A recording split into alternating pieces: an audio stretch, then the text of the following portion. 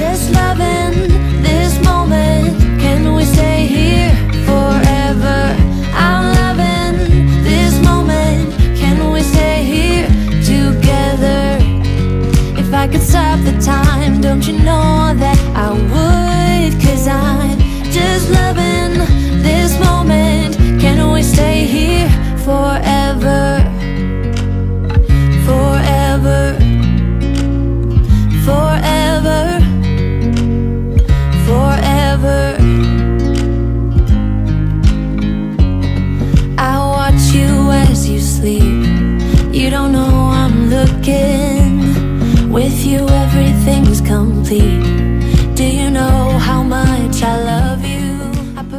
Einen wunderschönen guten Morgen aus Frankfurt, meine Lieben. Wir hatten echt eine gute Nacht. Ich war schon drei, vier Mal mit Ben wach, aber immer nur kurz die Brust gegeben und dann hat er weiter geschlafen.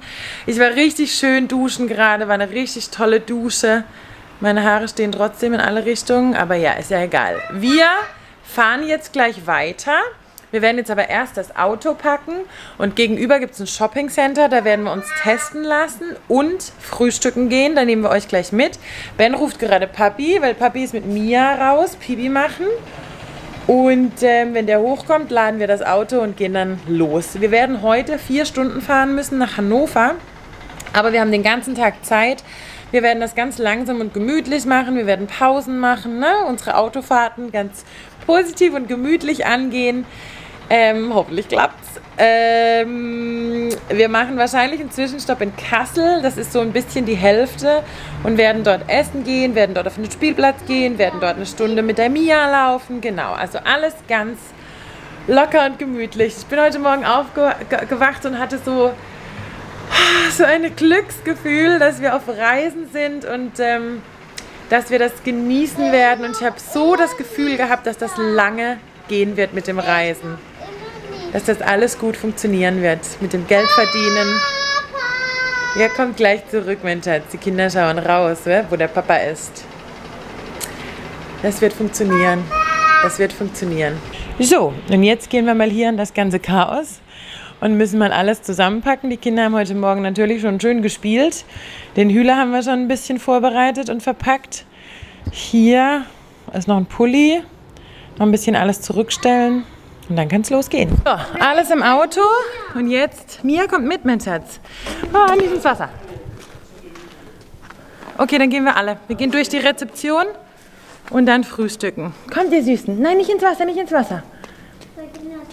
Okay, du kannst so.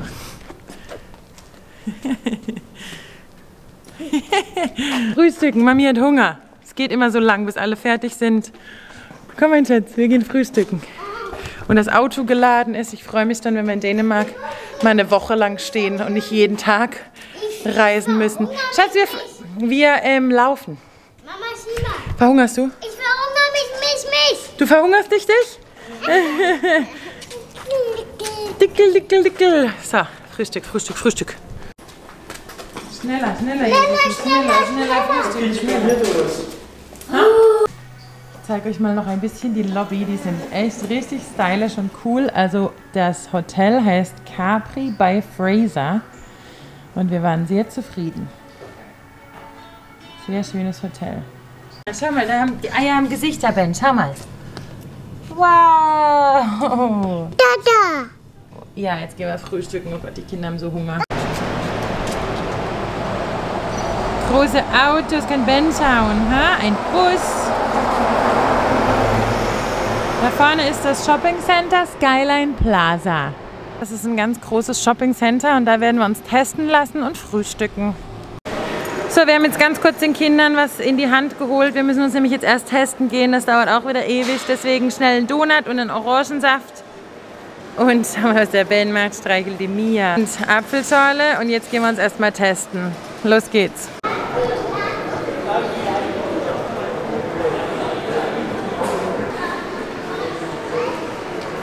Wir sind jetzt bei einer Teststation, wo man nur reinspucken muss. Also da bekommt man es gar nicht in die Nase reingesteckt, sondern muss nur spucken. Ben,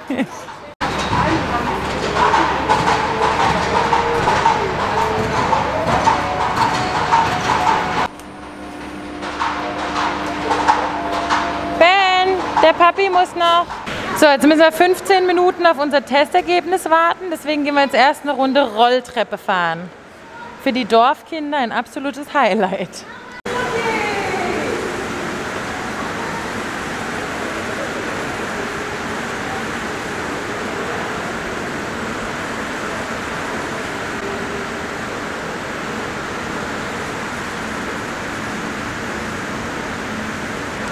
Oh mein Gott, ihr Lieben, es ist einfach mal halb zwölf. Wir haben ewig gebraucht, bis wir was zum Frühstücken gefunden haben. So ein kleiner, ganz kleiner Kuchen, Ja, wo man geschmückt.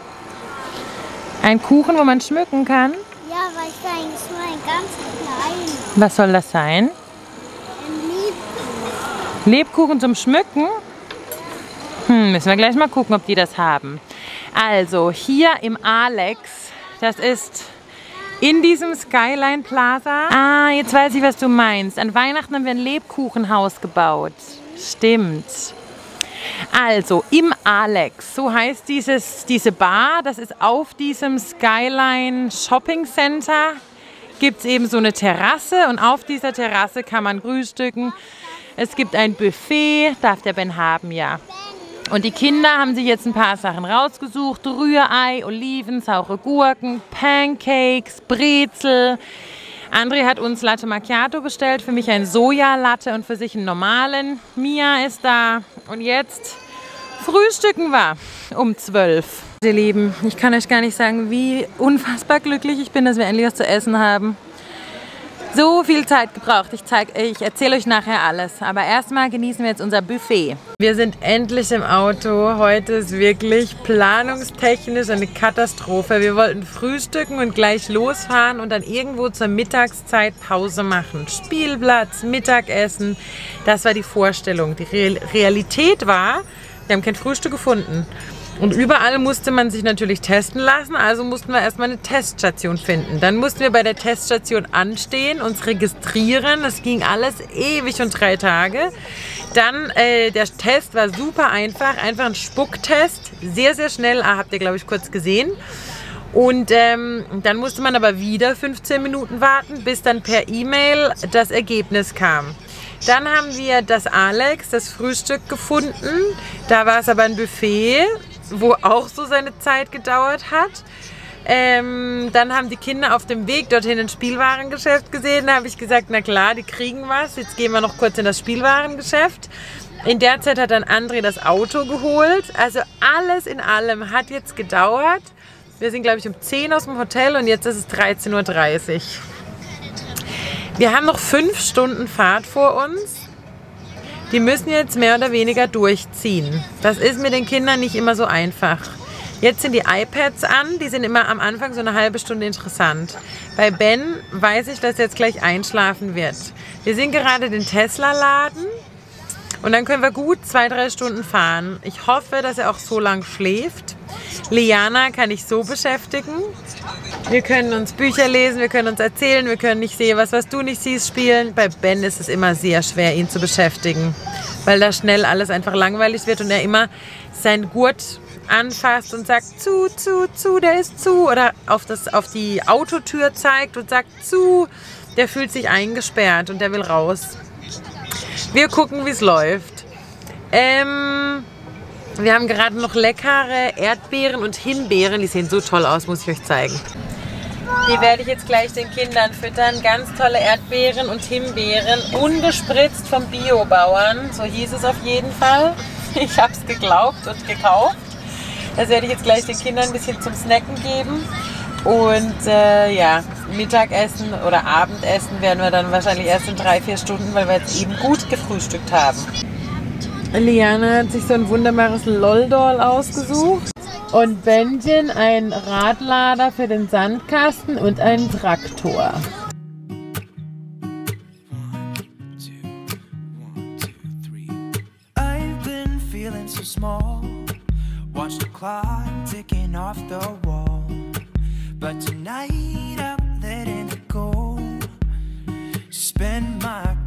For sure. I'm gonna be myself, or I could be someone else. No one's stopping me now. Bagger hast du, ne? Hoppala. Das ist super. Hallo, wir sind. Wir sind. Wo sind wir? Also irgendwo in der Nähe von Kassel. Raststätte und ja, Restaurant. Das Auto ist gerade da. Ja, ganz schön, ganz süß. Wir haben noch 190. Schatz, hast du gesagt 190? Zwei Stunden. Ganz okay, ganz okay. Kinder haben geschlafen. Hoffentlich werden die jetzt nicht knatschig. ja. Läuft gut bis jetzt.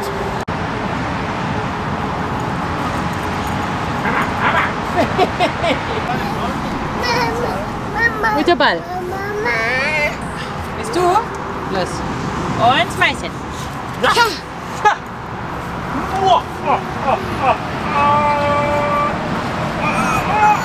Es gibt Pommes mit, was ist das? Veganem Schnitzel. Ein veganes Schnitzel für die Kinder. Mama. Mama. Das ist heiß, Ben. Zitrone. Zitrone. Papa hat Agi. Fleischkäse und Salat. Hast du gehört, was die Liana Und gesagt hat? Agi, ja, Agi. Agi hat gerne Du musst Apfelschorle. Apfelschorle, Entschuldigung. Ja, ich hab Unser, unser Profi-Vlogger. Unser Profi-Vlogger. Liana sagt immer, wenn wir was vergessen, zu vloggen. Stimmt's? So, ihr Lieben. Der kurze, aber nee, eigentlich lange Zwischenstopp, die Pause mit dem Spielplatz und dem Essen war echt total gut. Hat uns allen gut getan. Guckst du, wo der Papa ist. Dann sind wir weitergefahren. Ähm, ich glaube jetzt so eine Stunde ungefähr. Ja, ich glaube eine Stunde oder eine Stunde 20 bin ich gefahren. Liana hat Mighty Pops geschaut. Bändchen hat auch ein bisschen iPad geschaut, hat aber immer wieder zwischendurch geweint.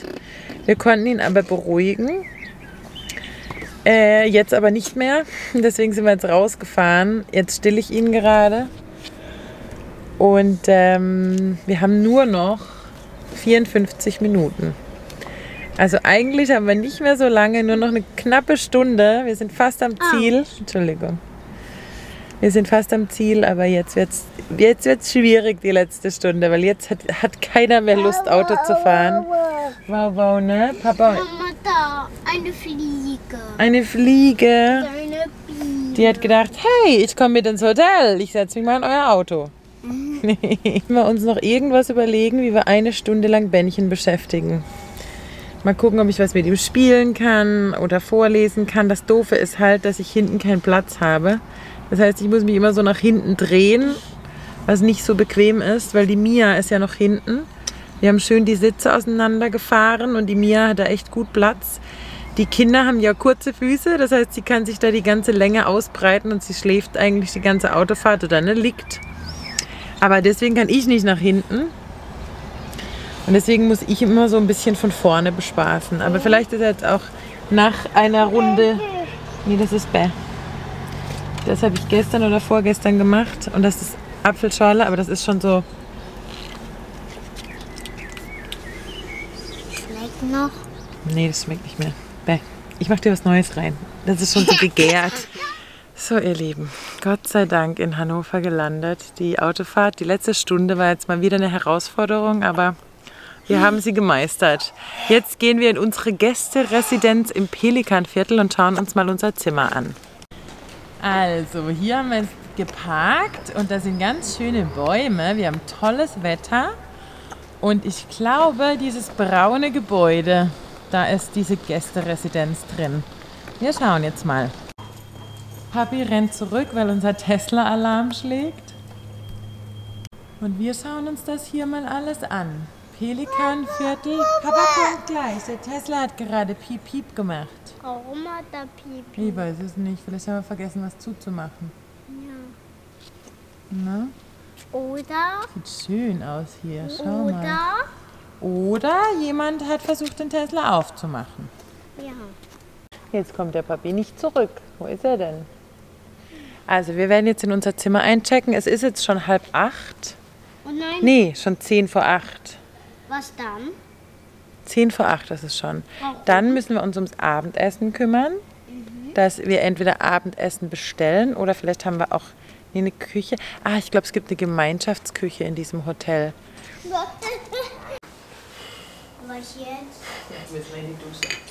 Wir müssen die Füße waschen. Schaut euch diesen Papa an. Er spinnt.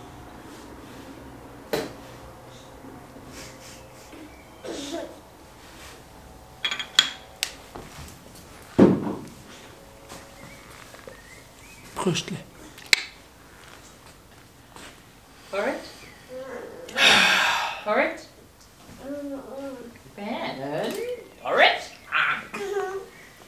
Ben? Und jetzt Haustour. Haus? Ah, Room, Room, äh, Room. Los geht's. Da ist schon die Mia.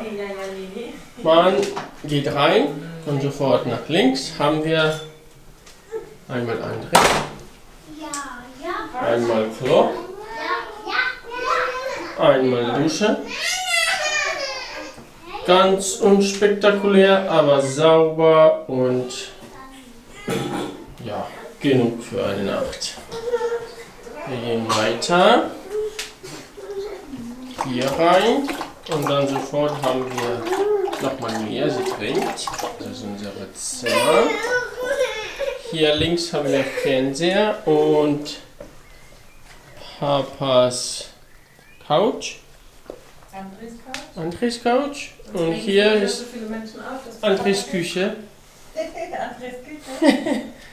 Andres Zimmer. Mias Platz haben die für uns vorgerichtet, vorbereitet. So, nochmal meine Couch, Andres Couch.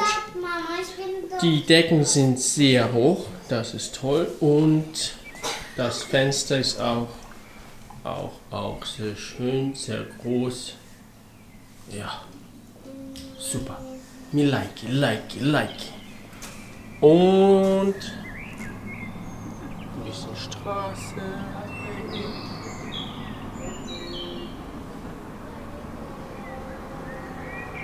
Ja, das war's eigentlich. Also ich persönlich finde, das Zimmer ist gut. Für eine Nacht, oder? Ja, so ein bisschen Studentenbude, Künstler, Apartment. Also nicht so vergleichbar wie gestern, ne? Sicherlich, er war nicht in der Studentenbude, in der Studentenbude in der Ukraine.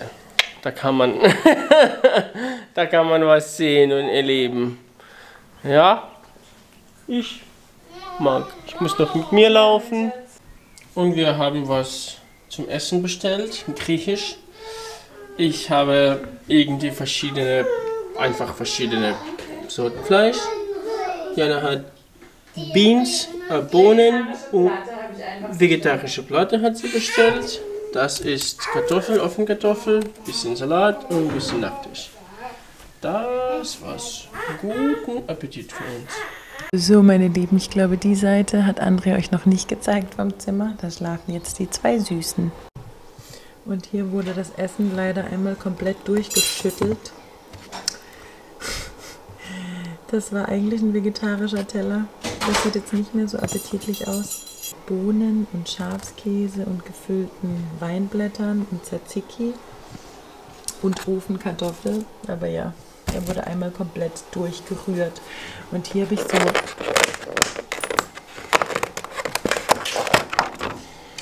Und hier habe ich so Dessert-Variationen mit Tiramisu und Panna Cotta und so bestellt.